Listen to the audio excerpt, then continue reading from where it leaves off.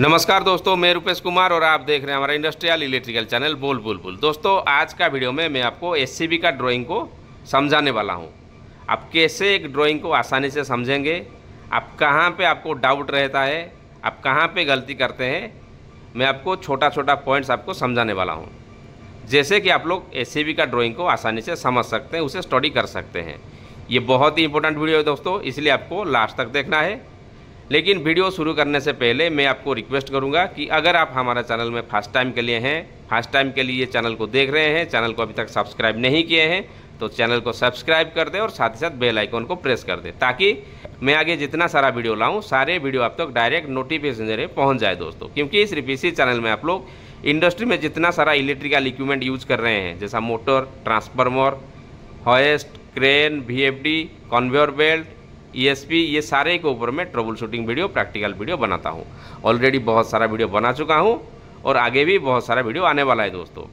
दोस्तों, मैंने एक वीडियो बनाया था सर्किट ब्रेकर कंट्रोल वायरिंग यानी उस वीडियो में मैंने दिखाया था कि सर्किट ब्रेकर का जो इनसाइड वायरिंग रहता है, अब आप एक सर्किट ब्रेकर को ओपन करेंगे, आप देखेंगे इनसाइड में बहुत सारा कंट्रोल वायरिंग किया गया है। तो उसके बारे में जो वीडियो बनाया था, उसी वीडियो का लिंक आपको डिस्क्रिप्शन मिल जाएगा। वो वीडियो को एक बार देख लीजिए। तो आज का वीडियो में मैं आपको बताने वाला हूँ सर्किट ब्रेकर का ड्राइंग को आप कैसे स्टडी करेंगे, आसानी से आप उसे कैसे समझेंगे। तो सबसे पहला चीज़ क्या है दोस्तों? सबसे पहला चीज़ है कि ये जो ड्राइंग है, कितना पेजेस का ड्राइंग रहता है। आप देखे होंगे सर्किट ब्रेकर का ड्राइंग, जो कि तीन पेजेस का हो सकता है, एट पेजेस का हो सकता है। तो सबसे पहले आपको समझना पड़ेगा कि कितना पेजेस का ड्राइंग है। ये देखिए दोस्तों ड्राइंग का निचले साइड में, ये देखिए। यहाँ पे देखिए दोस्तों, सीट वन और फोर लिखा गया है। यानी ये जो सर्किट ब्रेकर है, फोर पेजेस का सर्किट ब्रेकर है और ये उसका फ़र्स्ट पेज है। तो अगला पेज देखने के लिए आपको, ये देखिए दोस्तों, उसका सेकेंड पेज आ गया, ये आ गया उसका थर्ड पेज और ये आ गया उसका लास्ट पेज यानी फोर्थ पेज यहाँ पे देखिए दोस्तों क्लियरली लिखा गया है सर्किट ब्रेकर का एक ड्राइंग नंबर रहेगा। ड्राइंग नंबर का ये है सीट फोर ऑफ़ फोर यानी फोर पेजेस का ड्राइंग है फोर सीट का ड्राइंग है, और ये उसका लास्ट पेज है। तो अभी तक आप समझ गए होंगे कि आपको सबसे पहले देखना है कितना पेजेस का ड्राइंग है। तो चलिए दोस्तों फास्ट पेज पे चलते हैं। तो फास्ट सीट में हमको क्या दिखाई दे रहा है? ये देखिए दोस्तों, सबसे पहले ये उसका हो गया पावर सर्किट तो पावर सर्किट में आपको क्या देखना है? तो पावर सर्किट में आपको पावर रिलेटेड आपको ड्राइंग मिलेगा। यानी ये R Y P and neutral four O R का ये पावर सप्लाई है। और इसके बीच में आप देख रहे हैं ये वाला। ये वाला क्या है? क्यू वन जो लिखा गया है ये है एक्चुअली सर्किट ब्रेकर जो एस में बोल रहा हूँ क्यू वन का नाम यहाँ पे है क्यू वन अभी ये एन और ये क्यू वन अभी एन में है।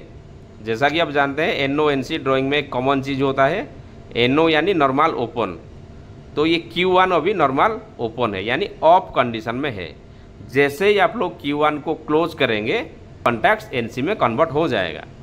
क्यू वन का जो एन ओ कॉन्टैक्ट्स है यानी जैसे ही सर्किट ब्रेकर क्लोज होगा तो Q1 का जो NO कॉन्टैक्ट्स वो NC में कन्वर्ट हो जाएगा और सप्लाई कहाँ आ जाएगा? सप्लाई ये साइड देखिए। सप्लाई ये साइड देखिए आउटगोइंग साइड में सप्लाई जाएगा। तो ये हो गया उसका पावर सर्किट तो बाकी इक्विपमेंट के बारे में मैं आपको समझा देता हूँ। तो यहाँ पे और भी कुछ इक्विपमेंट आप देख रहे हैं, जैसा कि ये वाला। पी वन लिखा गया है, ये पी टू लिखा गया है और ये वाला पी थ्री लिखा गया है। जैसे ही आप सर्किट ब्रेकर का उसका जो कंट्रोल पैनल में जाएँगे, वहाँ पे आपको कुछ मीटर दिखाई दे रहा होगा। तो यहाँ पे पी वन हो गया एनर्जी मीटर पी टू हो गया power factor meter P three हो गया मीटर एंड पी फोर हो गया वोल्ट मीटर तो यहाँ पे ये अलग अलग चार मीटर हैं। और लास्ट वाला जो और लास्ट वाला जो दिया गया है C D G thirty one ये क्या है दोस्तों? C D G thirty one यानी उसका जो प्रोटेक्शन रिले है, उसका नंबर है C D G thirty one उसका नाम है C D G thirty one ये एक रिले है दोस्तों प्रोटेक्शन रिले जो कि कुछ कंडीशन आएगा तो ये C D G thirty one से ही ये सर्किट ब्रेकर ट्रिप हो जाएगा. तो सबसे पहले आपको ये समझना पड़ेगा. और अब उसका नीचे साइड में यहाँ पे देख रहे हैं दोस्तों. ये देखिए दोस्तों कुछ नंबर लिखा गया है one zero one one zero two one zero three one zero four one zero five ऐसे वन ज़ीरो टेन तक तो इसका मतलब क्या है दोस्तों ये जो वन ज़ीरो वन है दोस्तों वन ज़ीरो वन यानी ये वाला जोन को हम बोलेंगे या वन ज़ीरो वन जोन ये वाला जोन को बोलेंगे वन ज़ीरो टू जोन ये वाला जोन को बोलेंगे वन ज़ीरो थ्री जोन नीचे से लेकर ऊपर तक ये जो जोन को हम बोलेंगे completely one zero four zone यहाँ पे 104 एंड 105 जोन में क्या है? एनर्जी मीटर है। सिमिलरली 106 जोन में क्या है? पावर फैक्टर मीटर है। 107 जोन में क्या है? आमीटर है। 108 जोन में क्या है? वोल्ट मीटर है 09 एंड 10 जोन में ये C D G thirty one है दोस्तों। तो अभी तक आपको समझ में आ गया। उसका जो नंबर रहता है दोस्तों ड्राइंग का हर एक नंबर इम्पोर्टेंट होता है। आपको सबसे पहले ये समझना पड़ेगा। तो चलिए समझते हैं इसका जो एनर्जी मीटर है, एनर्जी मीटर का कनेक्शन कैसे किया गया है। तो ये हो गया दोस्तों एनर्जी मीटर P1 P1 में देखिए कौन कौन सा वायर लगा है, यानी जितना सारा यानी जितना आप यहाँ पे जो लाइन देख रहे हैं लाइन ड्रॉ किया गया है, वो हर एक लाइन एक ओयर को रिप्रेजेंट करता है। तो यहाँ पे कौन कौन सा वायर आके लगेगा? ये देखिए दोस्तों एनर्जी मीटर के लिए हमको चाहिए वोल्टेज एंड करंट का सोर्स तो ये वाला जो देख रहे हैं दोस्तों, ये हो गया उसका सिटी यानी करंट का सोर्स हमको यहाँ से मिलेगा। यहाँ पे तीन सिटी है T one T two and T three और यहाँ पे देखिए दोस्तों सिटी का नंबरिंग कैसे किया गया है? ये देखिए दोस्तों T one T two T three CT तीन सिटी है। R phase Y phase and B phase के लिए तीन सिटी यूज़ किया गया है। जो सिटी का सेकेंडर रहता है दोस्तों, जैसे मैंने बहुत सारा वीडियो में बोला है कि सिटी का जो सेकेंडर रहता है, यहाँ पे देखिए दोस्तों सिटी सेकेंडरी वो आर्थिंग कर दिया जाता है। जैसा कि आप देख रहे हैं दोस्तों आर्थिंग का यहाँ पे सिंबल है, यानी सिटी सेकेंडरी तीनों सिटी का जो सेकेंडरी है, उसको हम कॉमनली एक आर्थिंग पॉइंट पे लगा दिए हैं। और उसके बाद देखिए दोस्तों, ये कनेक्शन कैसा होता है? सबसे पहले देखिए दोस्तों, ये वाला। और सेकेंड सिटी का देखिए, यहाँ पे आया है। और थर्ड सिटी का देखिए, यहाँ पे आया है।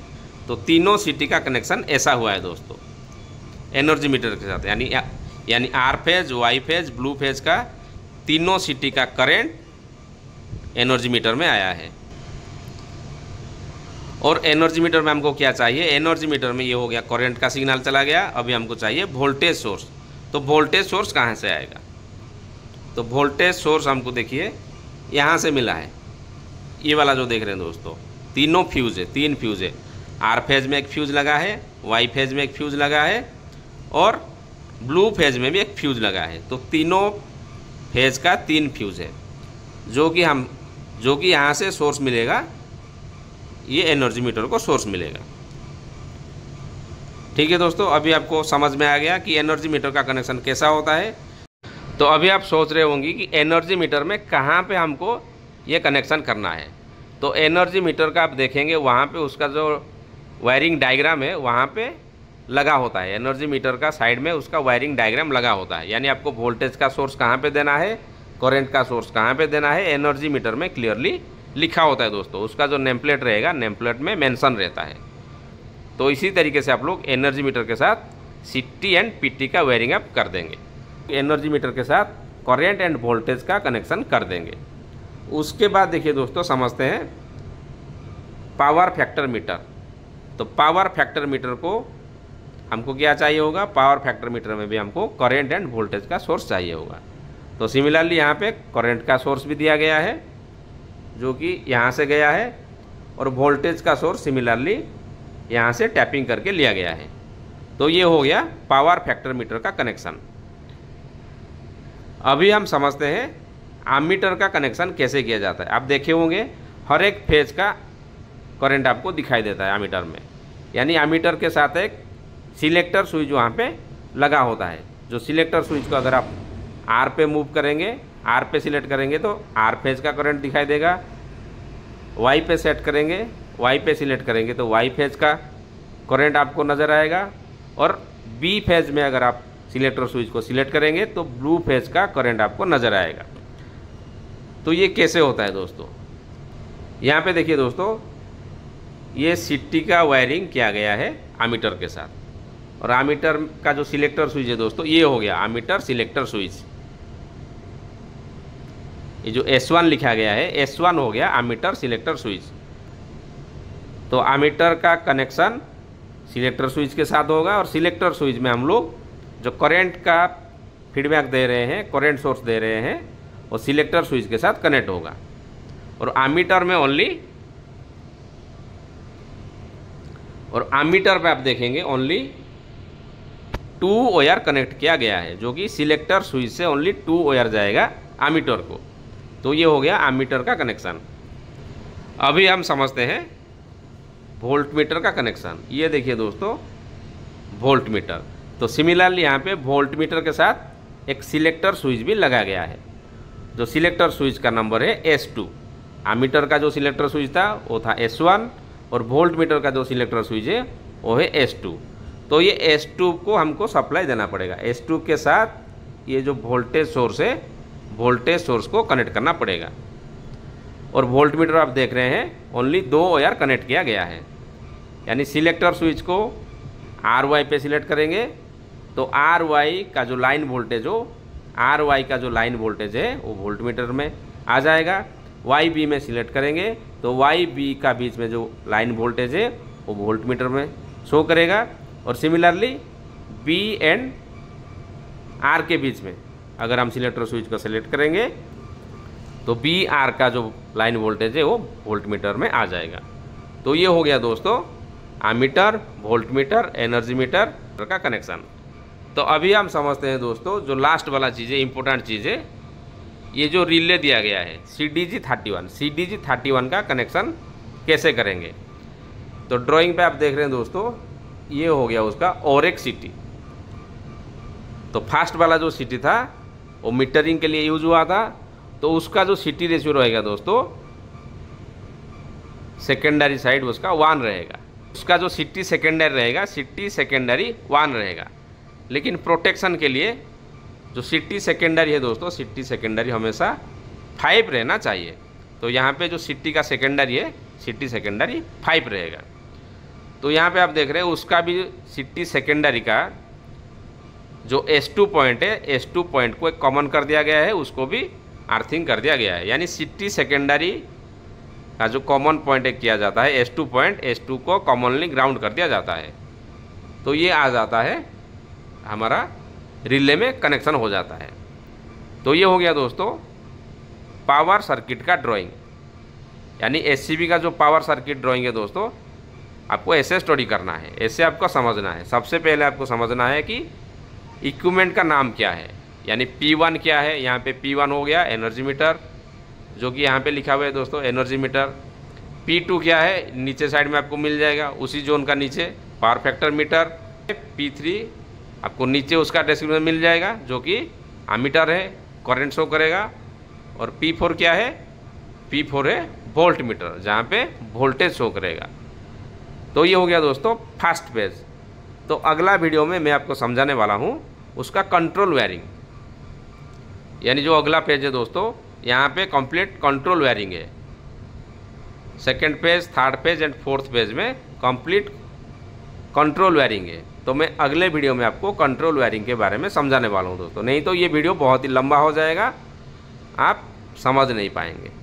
तो आशा करता हूँ दोस्तों, आज का वीडियो को देखने के बाद आपको काफ़ी कुछ सीखने को मिला होगा। तो वीडियो अच्छा लगे तो वीडियो को लाइक करें, हमारा चैनल को सब्सक्राइब करें और देखते रहिए इंडस्ट्रियल इलेक्ट्रिकल चैनल। बोल बोल बुल, मिलते हैं अगले वीडियो में। नमस्कार।